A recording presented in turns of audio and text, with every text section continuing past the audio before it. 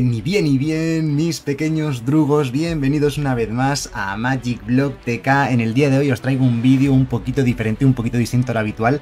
Hoy no vamos a jugar a Magic, vamos a jugar a Life is Feudal MMO un juego de mundo abierto que lleva dando guerra ya unos cuantos años, pero os tengo que contar cosas porque esto no queda ahí. El juego fue lanzado hace unos pocos años, pero ha sido relanzado recientemente por una nueva empresa que ha cogido el juego, LTG, que está haciendo las cosas muy bien y me ha pedido que hagamos hoy un vídeo patrocinado por ellos, así que vamos a probar este juego a ver qué tal está, a ver si nos acaba de gustar y no os voy a engañar, es un juego de suscripción mensual, pero a cambio eso le da un montón de ventajas. El juego tiene cero contenido de tipo pay to win, no tiene ningún tipo de micropago, ni skins, ni se puede pagar nada in-game, solamente la suscripción mensual, pero vais a poder probarlo gratuitamente, totalmente gratis, durante una semana con el enlace que os dejo debajo del vídeo en la descripción. Así que no dudéis en descargarlo y probarlo y darle una oportunidad porque nos va a costar nada y creo que es un juego que puede merecer la pena porque tiene un montón de contenido y un montón de cosas que se pueden hacer que ahora os voy a ir detallando poquito a poco.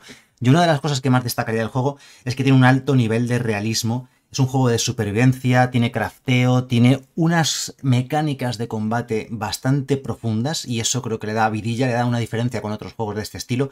Y bueno, lo que vamos a hacer es comenzar creando un nuevo personaje, ¿de acuerdo? Desde cero para que veamos, pues eso, lo típico, la pantalla de selección y la cantidad de cosas que se pueden hacer, ¿vale? Podemos, eh... bueno, primero lógicamente es elegir el nombre, vamos a elegir eh, por ejemplo, pues Magic TK me parece que es un nombre adecuado. Eh, Magic TK. no me Ah, no. Hombre, no caben más. Bueno, pues Magic Block está bien. Y luego, eh, nombre de familia, Drugo. Drugo, por supuesto, ahí está. Vale, el género podemos elegir dos, ¿vale? Pues bien, como suele ser normal. Y tienes diferentes voces para elegir. Las voces están en inglés. Luego el juego sí que está en español, pero las voces están únicamente en inglés. Bueno, ahí no sé si se ha oído bien la voz. Esta me gusta. Espero que más o menos se esté oyendo bien. Eh, raza, tienes Godlung, tienes Slavard, tienes Core. Slavard es la que más me gusta de las tres, por el careto feo que tiene este señor de aquí, que me gusta bastante. Bueno, se pueden modificar bastante, con bastante profundidad eh, los tipos de, rostro que puedes encontrar, los tipos de... Bueno, mil, cosas de estas, ya sabéis, un poco lo podéis hacer a vuestro gusto. Tenéis el botón de random que también está bastante bien y ayuda. Mira, este me gusta, se va a quedar así. Luego los atributos, vale, el juego es un MMO, RPG, tiene bastante tema de roleo y de estadísticas, por ejemplo, pues eso, tenemos fuerza, agilidad, constitución, voluntad, intelecto y podemos eh, dotar hasta 75 puntos inicialmente a las diferentes estadísticas. Esto ya es un poco más complejo, un poco más profundo y el juego nos va a pedir eh, un poco de experiencia a la hora de tomar esas decisiones. Por tanto, yo de primeras lo he dejado así de hecho, las veces que he jugado, que he iniciado personaje nuevo, siempre he empezado así. Y digo, bueno, ya veremos más adelante cómo hacerlo o si me hago un personaje nuevo o lo que sea. Lo mismo, crafting, como digo, podemos eh, craftear cosas, podemos crear objetos. Eh, es una parte muy importante del juego, aparte del combate, como ya os he comentado. Y al ser un juego de mundo abierto, eh, pues esto se hace especialmente interesante, ¿no? Pues lo típico, de artesano, minería, leñador, podríamos decir forestry, o bueno, de temáticas de bosque. bueno, hay un montón de opciones. Vamos a no, voy a dejarlo como está porque eh, forestry lo típico, necesitas cortar árboles para poder hacer tus primeras eh, herramientas, para poder hacer tu primera casa, ese tipo de cosas, porque es un, es un juego en el que tienes que hacerte tu casa, tus armas, etcétera, etcétera. Y lo vamos a dejar como está. Y luego Combat Skills, como digo, tienen bastantes... Eh, bueno, caballería al principio no necesitas porque no vas a tener caballeros desde el principio. Milicia, sobre todo para temática de clanes. Por cierto, hay clanes o gremios, creo que se llaman en español. Y estos gremios eh, te permiten tener la posibilidad de hacer combates, bueno, batallas, guerras más bien yo diría, porque son de 100, hasta de 100 contra 100 jugadores, lo cual es una auténtica locura. De lanzamiento y de asalto. Asalto si necesitas desde el principio por si quieres asaltar las viviendas o las construcciones de otros jugadores. Bueno, no he entrado mucho ahí como podéis ver y este es nuestro nuevo personaje. Vamos a darle aquí a play y empezamos a jugar. Bien, el juego es un juego de mundo abierto, es un juego tipo sandbox. El mapa es gigantesco, tiene docenas de áreas distintas y dicen que el mapa tiene en total el equivalente a un cuadrado de 21 kilómetros por 21 kilómetros. No solamente eso, porque están desarrollando un segundo mapa del cual no tenemos información, pero dicen que les está llevando mucho tiempo y que por tanto pues va a aportar una... va a ser duplicar el, el tamaño del juego básicamente, aunque todavía no sabemos cómo lo van a implementar. Existe la posibilidad de hacer PvP prácticamente sin ningún tipo de límite, aunque hacer PvP por ahí a lo loco es una especie de mini suicidio, pero bueno, se puede hacer eh, como en todo este tipo de juegos eh, de mundo abierto. Vale, aquí cuando comenzamos, aquí lo podemos ver, eh, tenemos nuestro personaje, comenzamos en este mundo, este mundo es una especie de mundo tutorial. Entonces, realmente lo que te piden, si os fijáis, toda la información la tienes en pantalla. Arriba a la izquierda pone F1 Help. Si le damos al F1 tenemos un tutorial gigante con todas las cosas que se pueden hacer y cómo se pueden hacer, ¿vale? Si le digamos un poquito de tiempo, eh, podemos hacerlo con calma y, verlo todo, ¿no? Por cierto, creo que se puede eh, cambiar el, el, idioma a español, correcto. Tenemos montones de idiomas, lo que pasa es que yo no lo tenía configurado. En español hay que reiniciar el juego, así que no lo voy a hacer. Por cierto, eh, con el curso, estoy girando eh, ahora mismo la, pantalla con el ratón, ¿de acuerdo? Pero podéis salir de control ratón a control libre dándole al tabulador. Si le dais al tabulador, veis, sale la flecha en pantalla y ya no controláis el personaje, la vista con el, con el ratón. Volvéis a darle al tabulador, ¡pum! Y volvéis a controlar. Esto es importante para saber manejar el personaje. Vale, si queréis que corra, podéis pulsar en el teclado la tecla Shift, ¿vale? La de mayúsculas, ¿vale? Y entonces echa a correr. Pero si queréis que corra de forma constante, bloqueo mayúsculas. Le dais a bloqueo mayúsculas y empieza a correr. O sea, ya, ya corre. Eh, vale, por cierto, se controla con las teclas del teclado WASD. Vale, hacia adelante, hacia atrás, hacia arriba, hacia la derecha, etcétera, etcétera, ¿no? Eh, por cierto, creo que se puede controlar con, rat, con ratón, perdón, no, con, con, mando, pero no lo he probado. De todas maneras, yo el tutorial, como ya he jugado, ya sé cómo funciona un poquito el juego, me lo voy a saltar, ¿vale? Pero para que veáis lo que os comentaba del tema del realismo, gráficamente el juego está bastante bien, pero sin volverse loquísimo. Aquí podríamos hacer, como os digo, el tutorial dándole simplemente clic derecho con el ratón, clic izquierdo, perdón, con el ratón, clicas y inicias el, tutorial con ese personaje. Pero me lo voy a saltar porque voy a ir a la, selección de mundo. ¿No se ha visto aquí? Eh, change Island, cambiar de isla. Bueno, pues el juego eh, tiene diferentes servidores, como suele ser habitual en este tipo de cosas, y diferentes islas, y y lo que vamos a hacer es ir directamente a ese rayo que se ve en el cielo, que es, el, es para cambiar de mundo, y vamos a ir ya al mundo abierto real para que lo veamos en acción. El juego, por cierto, no lo he comentado, tenemos un inventario dándole la tecla y salta el inventario. Eh, en el inventario empezamos con estas, estas, eh, estos ropajes, ¿no? Iba a decir eh, tal, y te lo puedes equipar directamente. Me lo voy a equipar, ¿vale?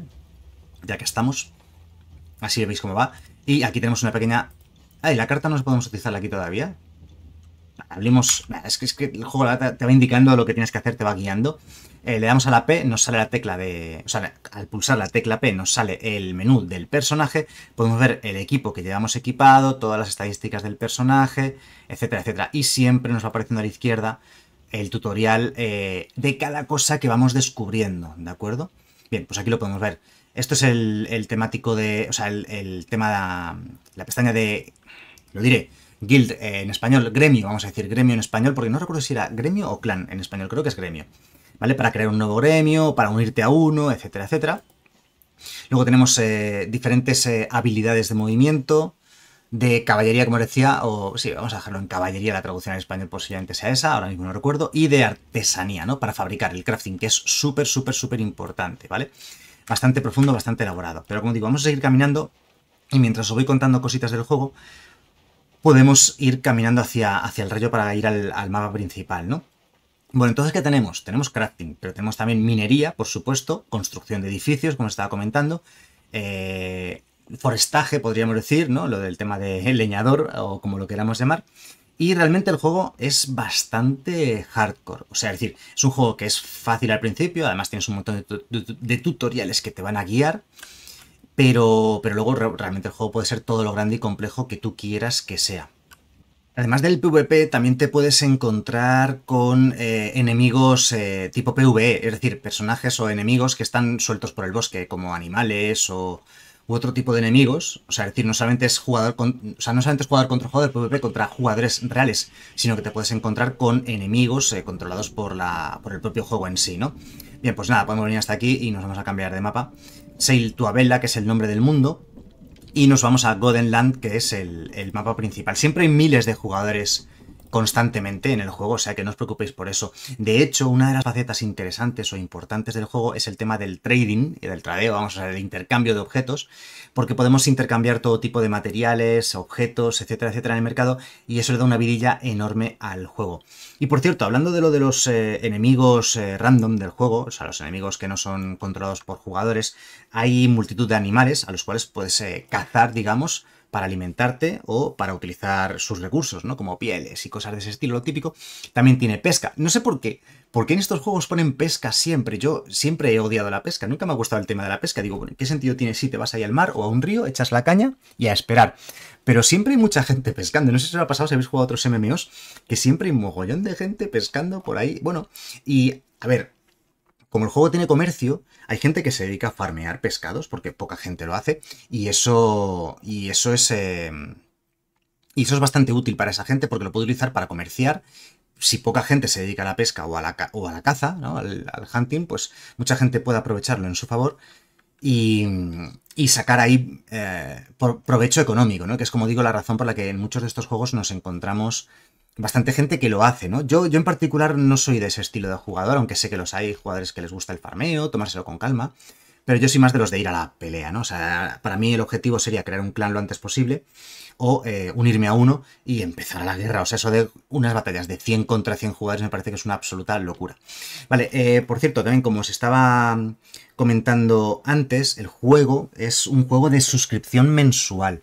Creo que el precio ronda los 15 dólares, depende de cada país, pues el, dependiendo del tipo de cambio, puede que en cada país os vaya a un valor o a otro, y además se puede pagar eh, por meses sueltos o por año completo, lo cual significa un gran descuento en, el precio. Vale, está cargando el mapa porque es un mapa bastante amplio, bastante grande. Vale, ya estamos ya cargado. Es que ahora mismo es de noche, justo, no se va a ver muy bien. Si le damos a la tecla M, se nos despliega el mapa para que veamos un poquito dónde, nos, dónde estamos posicionados. Veis, estamos ahí arriba a la derecha y eh, hay una cadena montañosa justo delante de nosotros. Yo creo que esa cadena montañosa, el, punto de spawn que estamos viendo, lo ponen ahí delante para que no caminemos hacia, hacia el interior de la isla, ¿no? Y nos dediquemos un poco más aquí pues a esos temas que os decía, ¿no? Temas de crafteo para comenzar. ¿Veis? Podemos inspeccionar, no tengo ahora mismo herramienta para poder cortar este árbol. Te dice la calidad del árbol y eh, y lo que puedes hacer con él, ¿no? Y encontramos una primera casa. Aquí ya empezaría un poco el juego, ¿no? Si tenéis cualquier duda, cualquier eh, cosa que no sepáis hacer en cualquier momento, esto es un trading post para intercambiar, ahora mismo no... Creo que aquí no hay nadie. Hombre, espero no encontrarme con nadie tan pronto, porque seguramente nos iban a crujir. Mirad, ahí arriba hay un fuego, o sea, seguramente hay algo. Las montañas son altísimas, ¿eh? Luego ahí también hay... Hay mar, bueno, está, como podéis ver, por cierto, abajo a la izquierda podéis ver las estadísticas. Tenemos el cansancio, tenemos la vida roja y la vida verde. El personaje no muere del todo hasta que no se le acaban las dos vidas. Y, bueno, no voy a entretenerme más con el juego porque era simplemente un pequeño vídeo corto. Yo, creo que ya os he explicado un poco más o menos todo. El gameplay lo he visto en el tráiler inicial, de cómo se desenvuelve el personaje, las cosas que puedes hacer, etcétera, etcétera. Y es un juego que yo creo que está bastante bien. Pensad que aunque sea un juego, como digo, de pago de suscripción mensual, a partir de ahí ya no hay más pagos. Es decir, es 100% eh, cero pay to win, podríamos decir. No tiene nada, nada de pay to win, ni tiene nada de micropagos, no tiene una store, no tiene una tienda dentro del juego, no puedes pagar para comprar recursos o para comprar nada, ni siquiera skins. Entonces, eh, todo lo que quieras de personalización lo tienes que fabricar, lo tienes que conseguir jugando. Y eso creo que está bastante bien, es una gran virtud de las que tiene este juego. Y... Luego además, eh, como os decía, tenéis, muy importante, debajo del vídeo en la descripción, el enlace para descargarlo gratuitamente y poder disfrutar de esa primera semana eh, de trial gratuito y ver si os convence o no os convence. Y luego ya si os gusta y os, viciéis un montón con este juego, que es lo que seguramente vaya a pasar a mucha gente, pues bueno, ya podéis decidir si pagáis o no pagáis la mensualidad. Así que eso ya queda un poco a gusto de cada uno. Así que nada más, espero que el vídeo os haya gustado. Eh, nos vemos en el siguiente. Hasta luego.